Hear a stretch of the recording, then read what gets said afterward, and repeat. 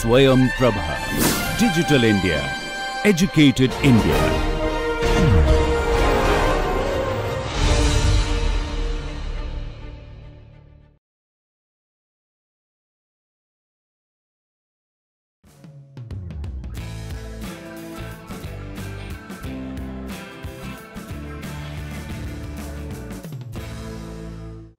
Good morning everybody. We were looking at how to analyze a non-normal system and uh, we wanted to, uh, so we, we showed that thermoacoustic system is non-normal and we show that uh, uh, there is transient growth and we also that uh, transient growth uh, does play a role in getting the triggering oscillations or the subcritical transition to instability and we were looking at how to characterize this transient growth. So we came up with this parameter called G which is norm of the state vectors or, or uh, at some time t divided by the norm at time t equal to 0 which we showed that this is equal to the norm of the evolution operator then we said we will uh, maximize this for uh, all initial conditions and then we maximize it for all times and uh, then we get the maximum growth factor. So are there any questions? Actually, I didn't get this concept, of the norm of the vector. So we will uh, redo this uh, this question, uh, redo this issue. So let us start from the differential equation dk by dt The uh, chi is the state variables or the vector containing the state variables, uh, and you have evolution operator d chi by dt plus L chi is 0. And this is if chi was just a number, then you can integrate it the way you uh, the way you integrate a number. For example,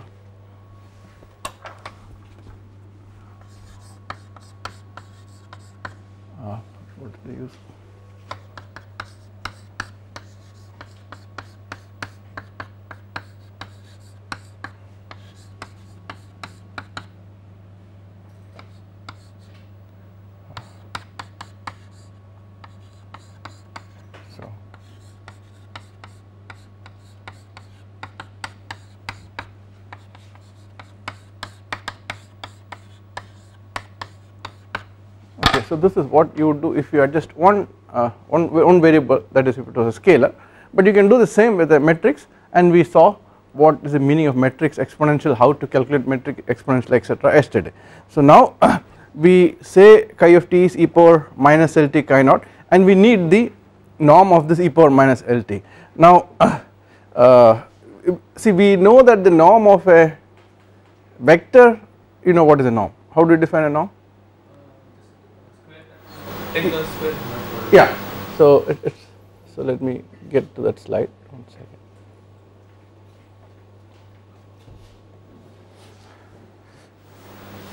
Uh, so we if you had a vector you square them all and then you get the norm. Now uh, this scaling by k1 it is like uh, you know if you it's just the right amount of scaling for example uh, you can use um, in one if you have x y z and in one direction you have centimeter another another place you have meter then if you square and add it won't be right. Everywhere you have to have um, meter meter then only it will make physical sense. So it's something like that some scaling to make physical sense. Now the question is uh, so this is okay when you have a vector but what happens when you have a matrix? Now who said square them add and you get the norm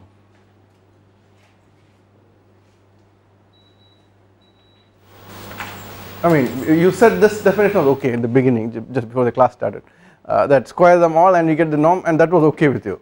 So who, who told you that this is okay or who, who came up with this definition of norm? So who defined it? Huh? Somebody human being defined it and we define things such that uh, so we, uh, in, in maths we come up with things and then we try to interpret real life situation with these things.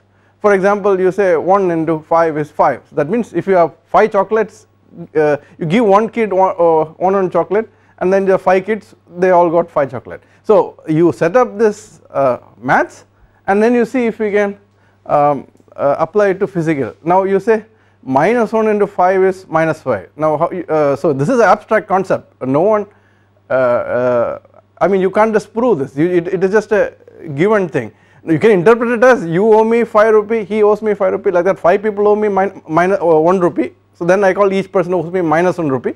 5 times that I have to get 5 rupee. I have to get I put minus 5. So you define something it may be useful or useless. And maths people you see that do lots and lots of things. Only a small fraction of it we use. So uh, they do also do not know. And what they are doing see what we are doing is what they did 100 years or 200 years back. And what they are doing now we not touch till 2000 uh, 2200 or 2300 and that is. The way it is and, and uh, physicists are one step ahead. What physicists do 50 or 70 years before engineers are doing now I mean. And mathematicians are way ahead. But most of the thing mathematicians do will be useless. Some will be useful which the physicists will take. Engineers will wait till the physicists take the subject to some level then they will take it and start making things. So that is the way it is. So the norm was defined that way. Okay? And you could have defined norm in some other way. And there are other ways of defining norms. What are some other ways of defining norm actually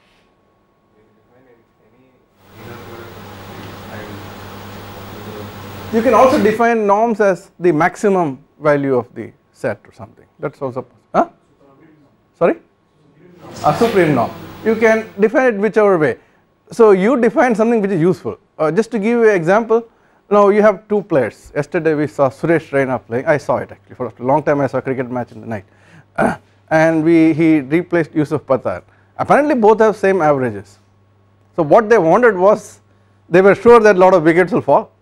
And at that time they wanted some guy to stay till the end. So that was the objective. So if you look at Suresh Raina's average or Yusuf Pathan's average they are same. But standard deviation is very high for Yusuf Pathan. He will someday kill everybody and many other days get killed himself.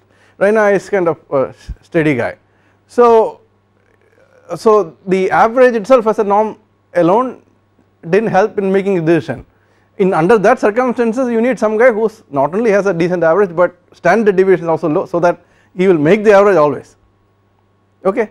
So uh, that, that is the idea. Now if we did not care about this situation and we had no problem if the, if the uh, middle order batted well and the lower middle order came and all we had to do was hit then we need a guy with a high standard deviation because a guy with a low standard deviation he may not attempt these things okay. So uh, you see the, so why did uh, uh, the standard deviation matter? I mean uh, because the circumstances demanded it. So what you need you have to figure out what it is and use it. And there are lots of norms available in um, maths. Okay. So we are taking 2 norm for some reason. And you can imagine why also because like um, square of something. So you can you, you can already see in advance you have p prime squared plus u prime squared. So that is our hidden agenda we want to get something similar to that if at all possible okay. So now the question comes what is the uh, norm of this exponential operator? So we again look at let us say take the books of linear algebra search through everything. Yes there is a 2 norm for that also which is defined as the principal singular value. And so it, it does not make sense because singular value is a uh, abstract thing principal singular value is some other abstract thing and norm is another abstract thing. So we have to uh, of course mathematicians develop abstract things it is our job to find the right abstract thing and put it in a physical thing. So now what we need is what we, we, we can see from the numerical simulations and all the stories that I told earlier that you can have eigenvectors decaying but some direction you can grow. So growth has to be measured in some energy norm okay. So in which case here we say something like p prime squared plus u prime squared weighted okay. So now that is like the 2 norm of the vector space now so if you take 2 norm on this side you take 2 norm on the other side also. So now what we need is some machinery which will find those directions and its amplifications so that is the idea and it exists as singular value. Now if you understand the meaning which I will go through again slowly then you will know why we choose principal singular value okay as the uh, uh, or why we why we chose no, 2 norm or why this uh, 2 norm is appropriate and, and so on. So uh, this part you understood I guess that sing, um, singular value decomposition. I understood the procedure okay, now uh, there are lots of decomposition in matrix algebra can you come up with some names? There are a lot of decompositions in linear algebra. Huh? LU decomposition, QR decomposition, SVD, singular value decomposition, eigenvalue decomposition, there are lots of decomposition. We have to pick what is necessary, okay. So when you look at uh, science, now I say this is what is the th done, thing done. uh, when you see how this was discovered we tried lot of things and this is what works and the guys before me tried uh, everything and I am sure they would have tried 100 things 99 failed one worked and then we picked up that is that is my experience and and I was trying to mm, so I to be honest very uh, I was trying to look at this and I was really uh, bogged down by this problem how to find the maxima. And a friend of mine said that in fluid mechanics they use SVD to characterize.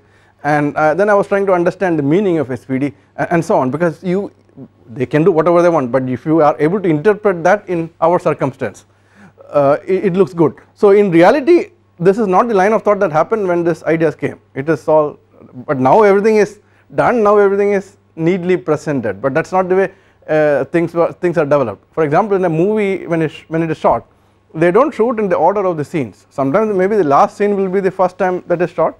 In between scenes may be the shot next first scene may be shot last. But in the end you edit and put it. So that is the way finally it is presented so that the person who hears it makes sense. But that is probably not the way the guy who made it came up with okay? So that is some of the difficulty here. So we have this decomposition where you take any matrix A and, and I said you can have many decomposition. Here you say u sigma v transpose. U is a unitary matrix. Sigma is a matrix with non-negative numbers on the diagonals and uh, zeros of the uh, diagonal. And uh, V transpose is the transpose of V. And U and V are both uh, unitary uh, matrices. Okay. So now we do SVD of our evolution operator. So we have dk by dt plus L chi is 0 and uh, chi is this state vectors eta and eta dots and this is the analytical solution except that e power minus LT involves matrix exponential so we do SVD of this evolution operator because that, that is what we are concerned with huh? vector we know how to do SVD right I mean uh, to, to, to get the norm because you have chi naught and chi we know the norm we want to get the norm of this. So we write chi t as u sigma v transpose okay uh, I mean we are doing let us see what happens and now uh, the physical meaning of this is since V transpose it is a unitary uh, matrix.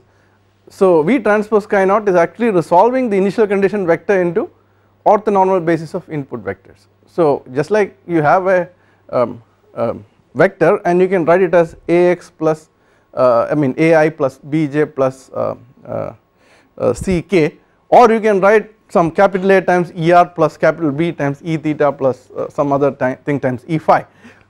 So similarly we have this basis we use this V transpose as a basis and it is resolving the initial condition along those bases and they are uh, ortho orthonormal okay so that that is the idea and now uh, u multiplied by sigma V transpose chi naught this represents the out, output normal as a linear superposition of components along the orthonormal basis but the thing is you are having another basis so the original basis may be like this but this could be rotated or something okay so there is no guarantee that you will follow the same basis now to understand the physical meaning so the eigen uh, so, uh, the singular vector there are several vectors in the matrix so we will have to uh, look at that.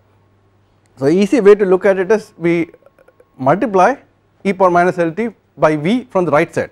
Now why do I do this? You can do anything you want whatever you do uh, if it returns some results then it is good many things won't return the results. Now uh, for example when I was a kid I was always wondering why do people bowl outside the off stump if they want to strike the wicket you should bowl straight but later I understood that uh, if you bowl outside the uh, off stump uh, people will uh, try to take a swing at it and then you will get a catch and you will be out so that is the objective. So now if you bowl outside the off stump and the guy does not care he will just uh, like our walls of Indian cricket. Rahul Dravid just lift the bat up and then you just wasted a delivery. Okay? So something like that. so you can do anything. Whether it is useful then it is oh yes again wonderful. Brilliant idea and all that. So uh, but often um, these things are they just do it not without and then things work and then you construct why it is done. Okay? To be very honest about it. So the evolution operator is e power minus LT and we let us see it acts on the um, uh, most sensitive input condition. So this will give sigma 1 which is the maximum possible gain multiplied by u1 now the e power LT can not only act on V1 but can act on V2, V3, V4, V5, V10 uh, now why there are these columns? Because we are discretized so the size of the system is now dependent on how many modes you have. So you will have that many directions okay? So you have you do not have infinite number of initial conditions you have finite number of combination determined by the dimension of the system. That is we if you take 10 Galerkin modes you will have um, 10 times 10, uh, 2 20 uh, uh, 20 vectors will be there okay? So e power lt acts on one of these things and you will get um, the output u and v are they are unitary. So sigma 1 will choose show the amplification okay? So to see it in uh, this matrix form so a if it acts on v1 you will get u1 so v1 is the right or left here? Right singular vector or left singular vector? Just look at your notes. Or right singular vector. So the evolution operator acts on the or any operator acts on the right singular vector. You will get another basis function which is u1 which is multiplied by a number. Now if it is acting on some vector here let us say you will get uh, another vector here somewhere here with some other number here okay? So you can do anything. We are interested in the maximum uh, amplification. See generally in instability we are worried about the damage how much it can grow. So if you know the maximum damage you know okay this is like a bound. Any, anything that occur will be below this. So here our attempt is to uh, uh, pick the maximum growth okay? So if you were if you replace this um, a with the evolution operator that is e power lt um, here uh, it is I mean in, our norm uh, this is a slide from Peter Schmid. Uh, I mean our L was minus of this okay? Uh, so this operates on V1 you will get U1 and um, times the sigma which is the norm of this okay? Now uh, so you have optimum initial condition and uh, you you uh, this is uh, wrong actually. It is a right uh, right singular vector and uh, this is uh, you you get it amplified and you get the uh, output direction. Okay? Is it clear? So principal singular value shows the maximum energy amplification and the corresponding right singular vector shows the most sensitive initial condition. Uh, so I, uh, it, now it is clear? I do not have to yeah you had a question like if that A matrix is non-normal, yeah then that means like in a general case you cannot yeah. So No, we can diagonalize in but uh, the thing is uh, the energy is not uh, so you have um, several eigenvectors. Uh, you are asking why it evolves independently or something. Yeah, I think, but a no- non- non- non-normal matrix can be a general case it cannot be diagonalized. Because if it is any diagonalized- matrix can be diagonalized hmm? If you do eigenvalue decomposition.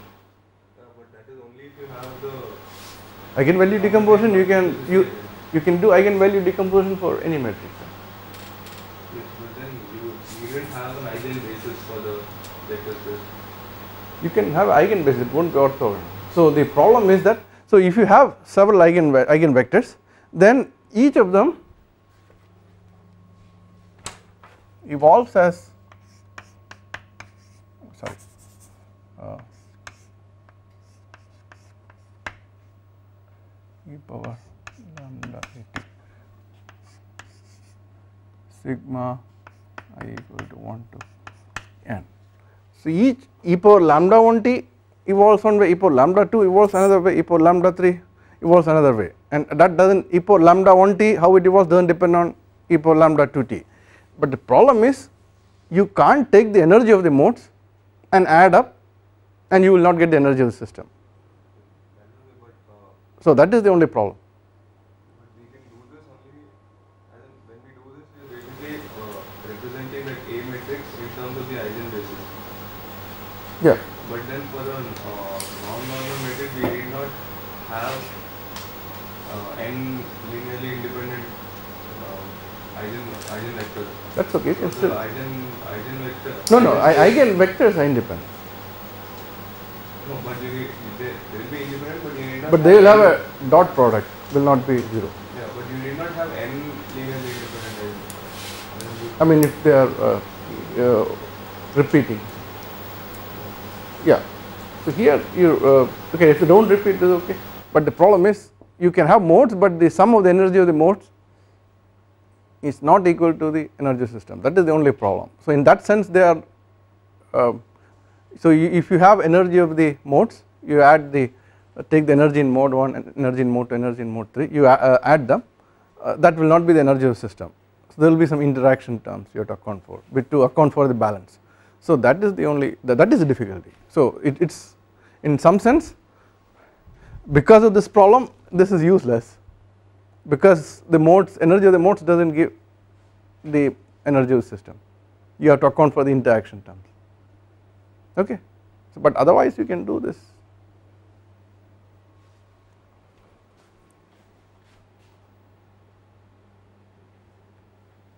so next yeah This will uh, give us a uh, maximum amplification Mm. and maximum energy to the. Uh, and the type of excitation. So if you have um, basis functions based on first mode, second mode, third mode and all that, you will know how much to excite in each of them.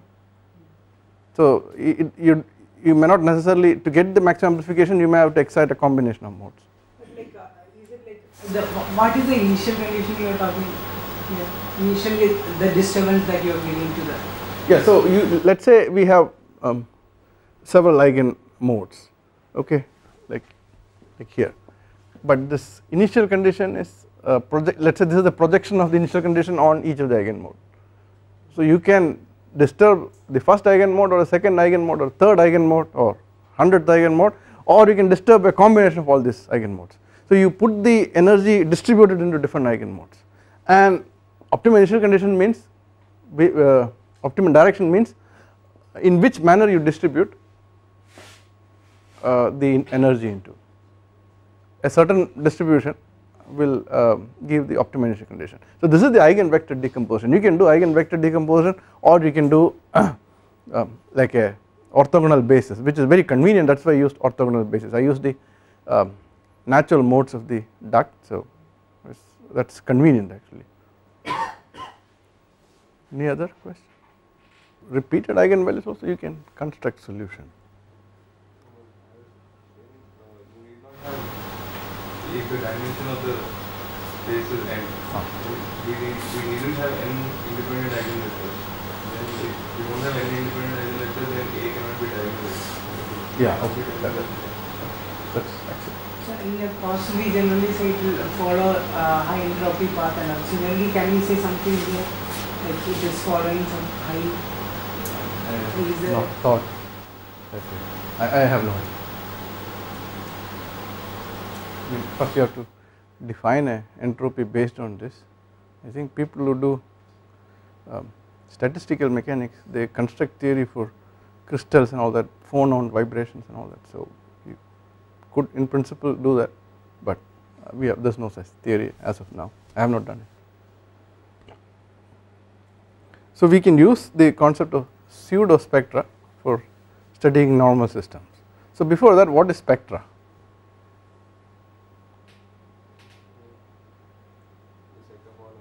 Uh, spectra is a set of all eigenvalues and how do you get eigenvalue?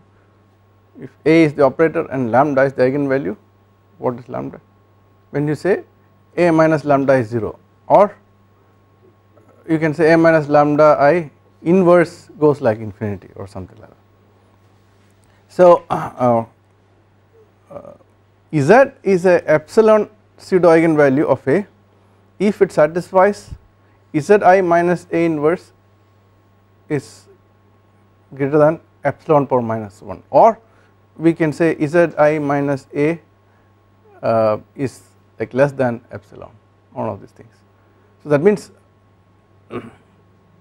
you are not looking to satisfy the relation exactly but we will put a small number and say okay within this number you will you will satisfy the relationship or uh, if you were looking at a resonance phenomena your amplification goes like inverse of the distance between the forcing frequency and the resonance frequency right there is a 1 over um, uh, distance kind of relationship.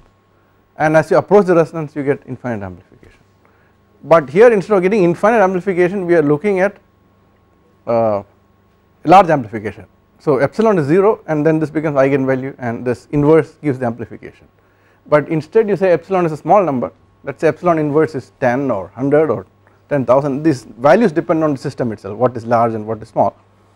So you can actually have large amplifications even if you are far away from the eigenvalue for non-normal systems and then we can take a look at that with the pseudo eigenvalue. So uh, the way to compute is to have the set of all points on the complex plane whose minimum value of singular value of z i minus a is less than epsilon but you need not worry about how to do the calculation uh, but let us look at the concept. So if you uh, take an operator and look at the pseudo spectra. First you can look at the spectra. So you calculate the eigenvalues and these dots here are the eigenvalues. Now you say you do not satisfy this um, a minus zi is 0 we do not do that but a minus zi is less than some epsilon. And you draw take this epsilon contours and then you can actually calculate the contours for z. And those are these contours. So the eigenvalues themselves can be on the left half plane let us say uh, for the evolution operator but the pseudo eigenvalues can spill to the right half plane. So there is another way to look at it uh, I, I first said you can think of exciting a system with a frequency and as you come close to resonance you get large amplification but if you are having pseudo resonance you may have large amplification away also for example whatever value you have here for epsilon you are getting here also everywhere also. Uh, uh, now uh, we think of um, let us go back here. This operator A. Now we do not know A exactly. Or let us say A is perturbed a little bit. We have uh, we have electrical heater in our experiment and let us say the heater power changes slightly or something. So the evolution operator can change or the velocity mean velocity can change slightly or anything. So you do not know or you do not have the exact A but you have some A is perturbed. And you look for the eigenvalues of that perturbed matrix. That is another way of interpreting pseudo spectra. So the crux of the matter is if this pseudo eigenvalue crosses to the right side then there is a possibility of transient growth. So uh, contour should protrude to the right half plane for the system to exhibit transient growth and uh, this is like a necessary condition for transient growth and you can use this concept of pseudo spectra and we can get bounds on the uh, uh, transient growth and so on but I would not go into too much detail.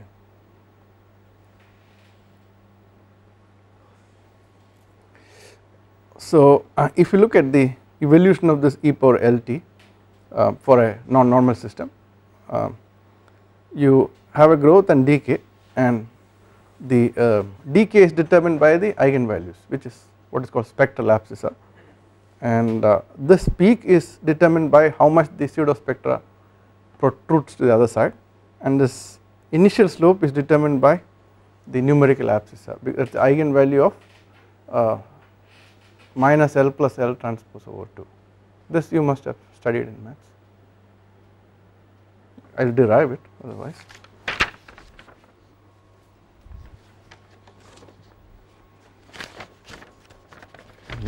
glasses one second.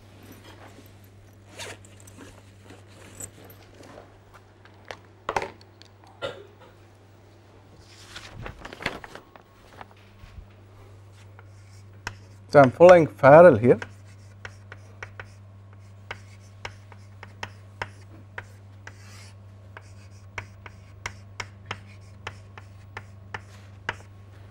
So uh, this is I am using his notation uh, just to so that you can read the paper yourself.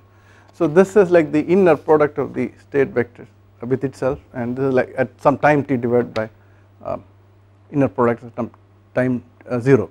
So this is like the norm 2 norm square of the 2 norm and uh, this we can rewrite this as e power a t. U naught we know that is the solution.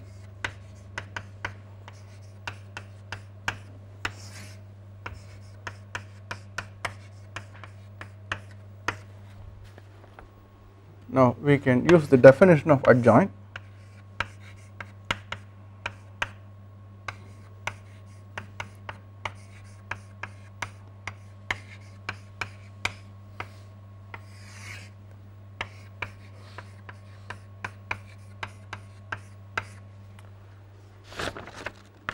So we have to look at e power a dagger plus a t. So it, it- this depends on uh, this quantity. So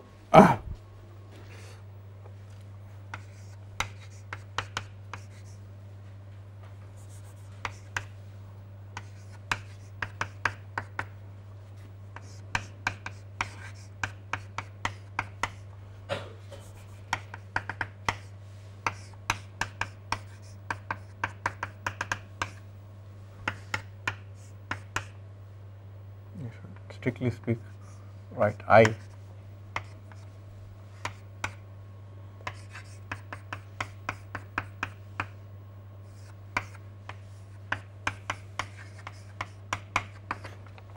So this is what kind of matrix is this?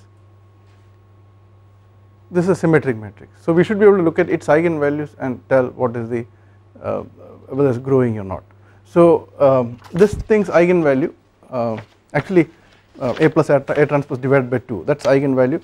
Is called um, numerical abscissa and that will determine how much is the initial growth and then how, how far it grows determines on the uh, uh, axis how much it protrudes to the other side and um, the decay asymptotic decay is determined by the eigenvalues or the spectral abscissa okay? That, that's written here.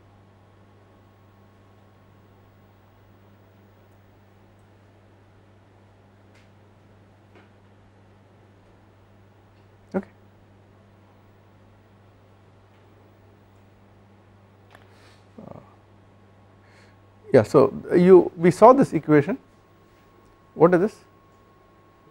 Uh, This is our uh, energy corollary in the presence of heat release given by Lord Rayleigh, and uh, predicting transient growth using Rayleigh criteria requires the precise knowledge of initial conditions and uh, say ambiguity of initial conditions due to noise because you cannot precisely know the initial conditions make the uh, identification of transient growth using Rayleigh criteria very difficult.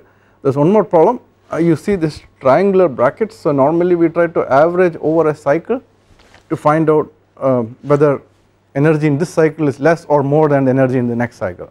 But when you have transients we, we saw the everything is changing so we can't really identify pinpoint a period because there are many periods available. So what is the period itself is a question so we can't really uh, use this to make any uh, study of uh, transient growth but you can look at the operator. Everything we did the G max or the pseudospectral abscissa and, and so on they and the um, condition that the pseudospectra should protrude to the right side etc they just depend on the evolution operator. And they are actually giving the maximum possible growth. So we are not able to pinpoint and study for this initial condition this is the growth. For that of course you, have, you can do the evolution and get it. But this G max is like a upper bound. That is the maximum transient growth you can receive for any initial condition together but that just doesn't depend on initial condition. Because it is maximized over all initial condition it just depends on the evolution operator. Okay? Is this clear. So let us look at some experimental stuff um, to see if all this is really there or a fantasy. So this is a uh, you, you can see this is data taken from Lieuwen it's a friend of mine a colleague. Experimental investigation of limit cycle oscillation in unstable gas turbine combustor this is a real turbulent combustor actually. You see a lot of noise here and then suddenly it takes off. So in reality it is not like a system is completely sitting silent and then bang on initial condition happens and then so you have noise and noise means all kind of possible states are there. So eventually you hit some right initial condition because any initial condition is like we think okay this is some time t this is the values and then how we progress.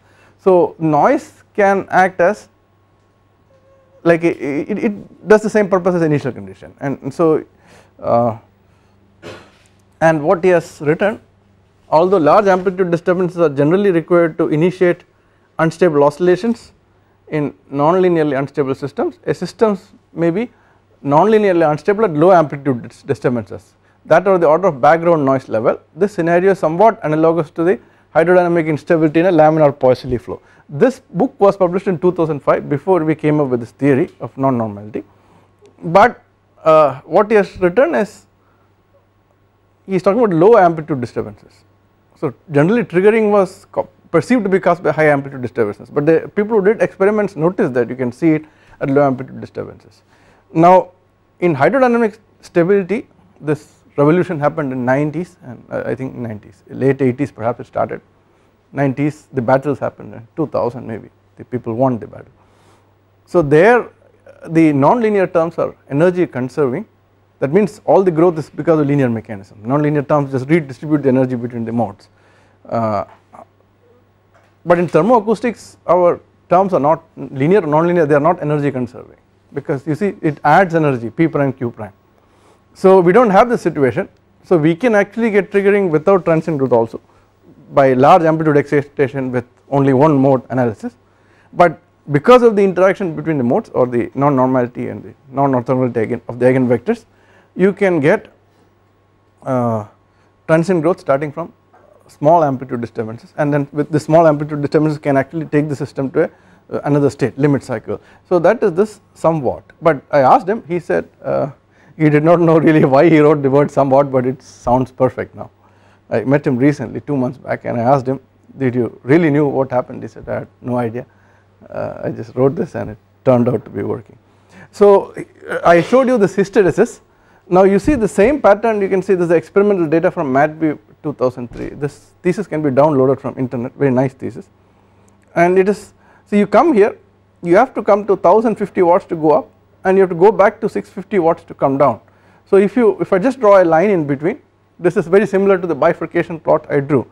There were this uh, this is the threshold amplitude over which you have to cross. So this is the unstable limit cycles are lying somewhere here right and uh, and this is the uh, stable limit cycle the green okay.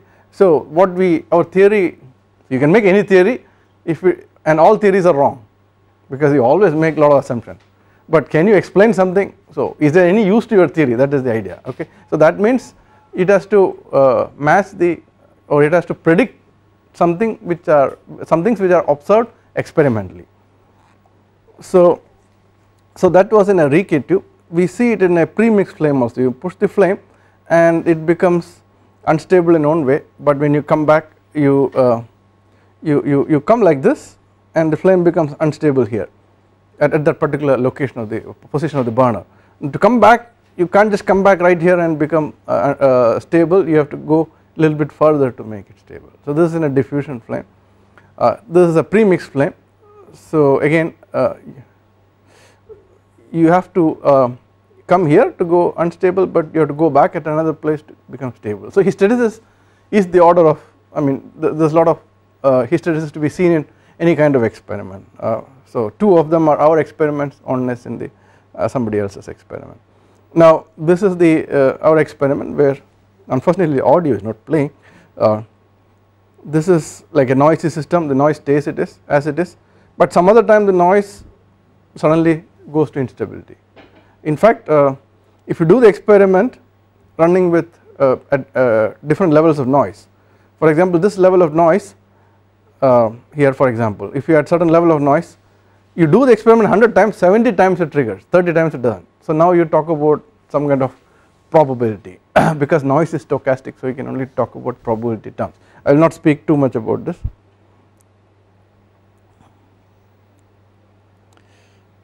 Just want to show one last thing.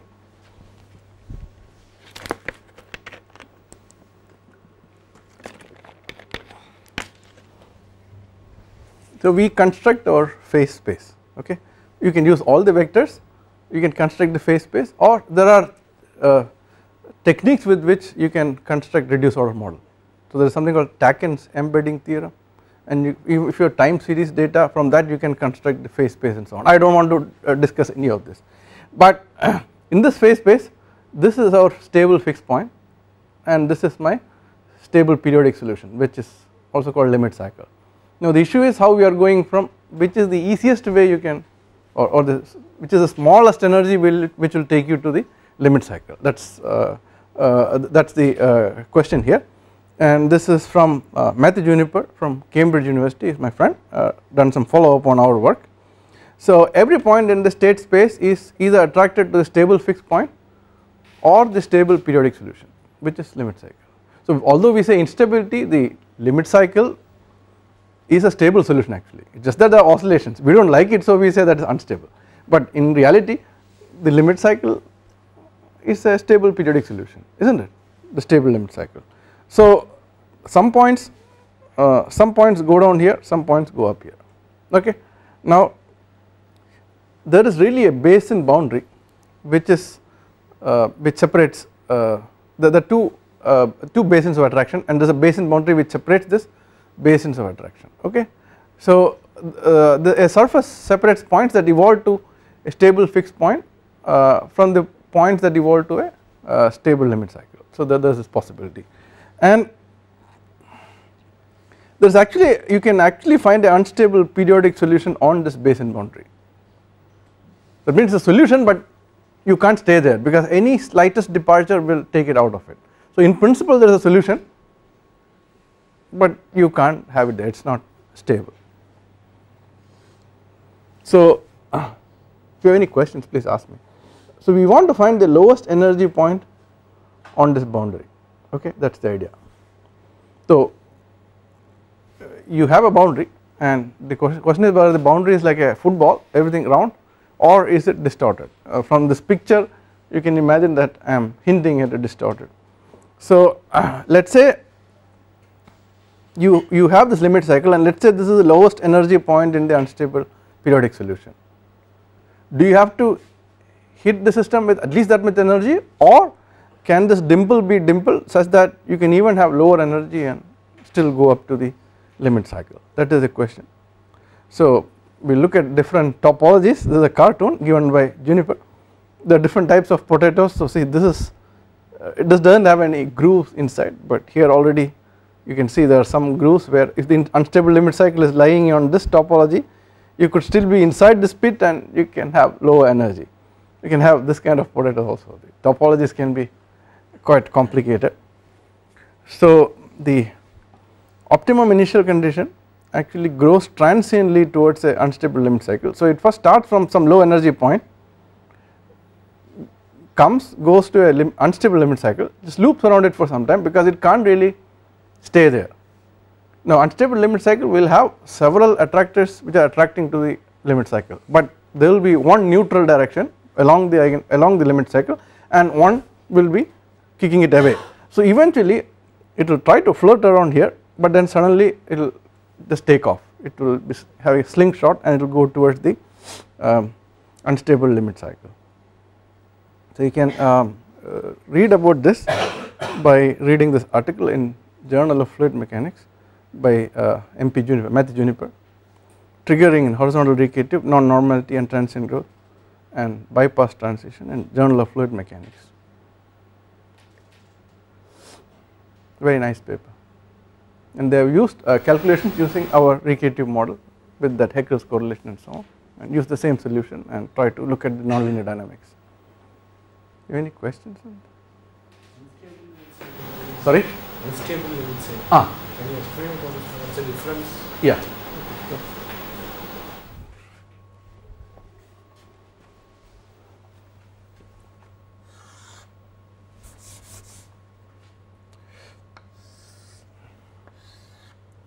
So let us say um, this is amplitude and this is heater power.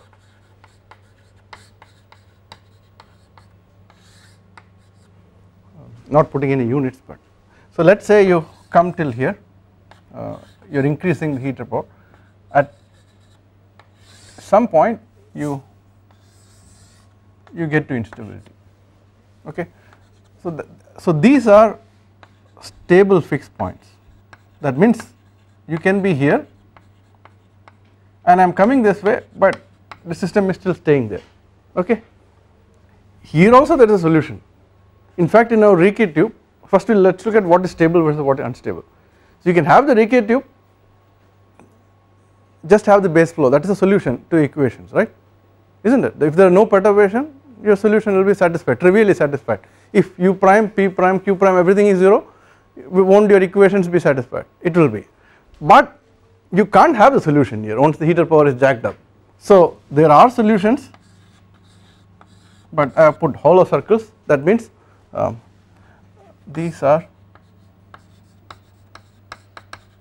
unstable fixed points and these are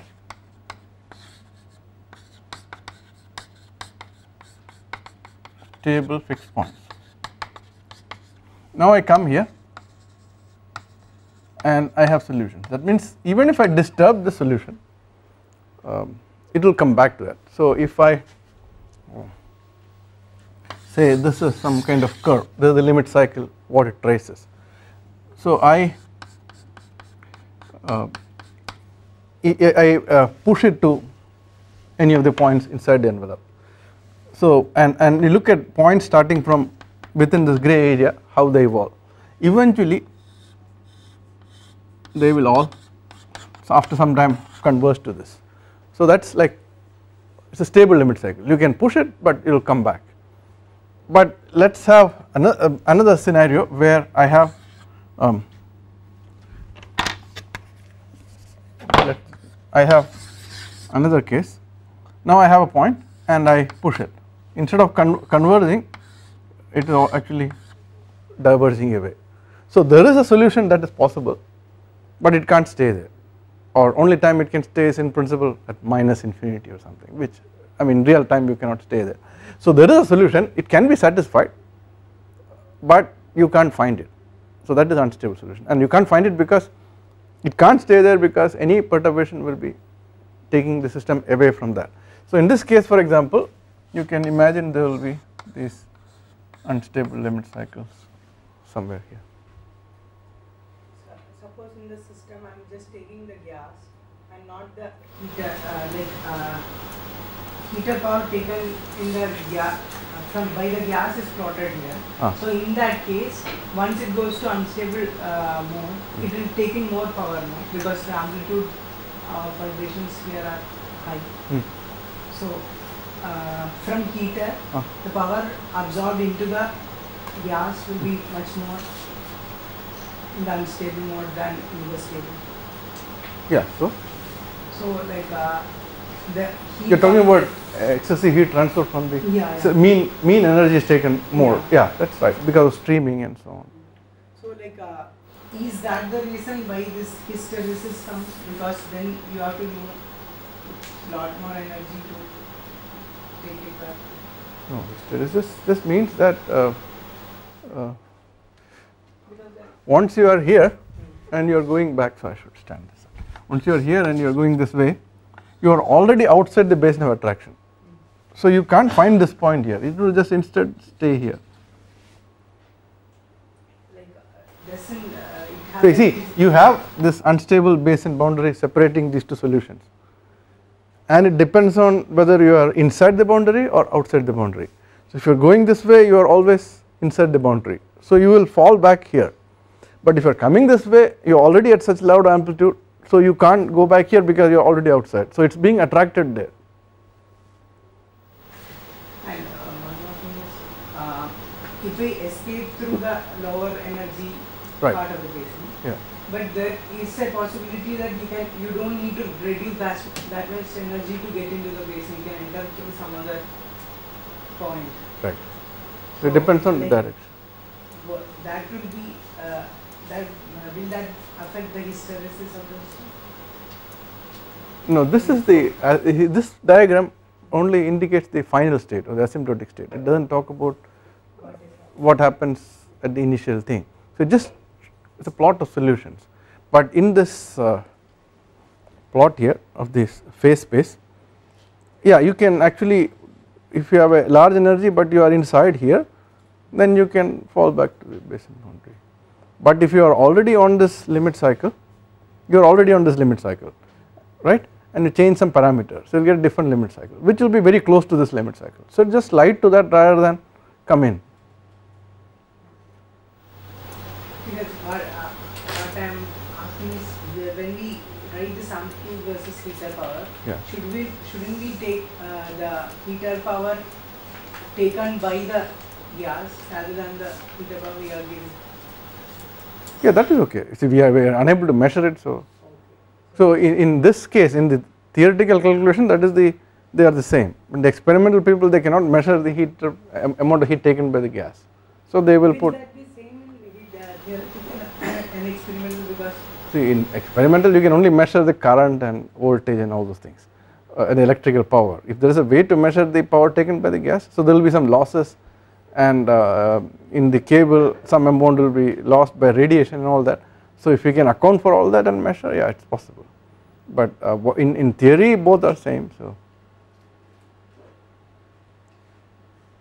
in theory, in the correlation, what we used is heat taken by the gas, but an experimentalist can't quite measure it. I mean, it's in principle possible, but very expensive. You need to use some laser induced fluorescence or something. I, I, I mean, I won't even dream of doing those things. So it's much simpler to plot input power. So in a dynamical systems, you can plot anything you want as the bifurcation parameter as long as it affects the system. That's the good thing about that machinery. Any other question? Okay, so we will stop here. We'll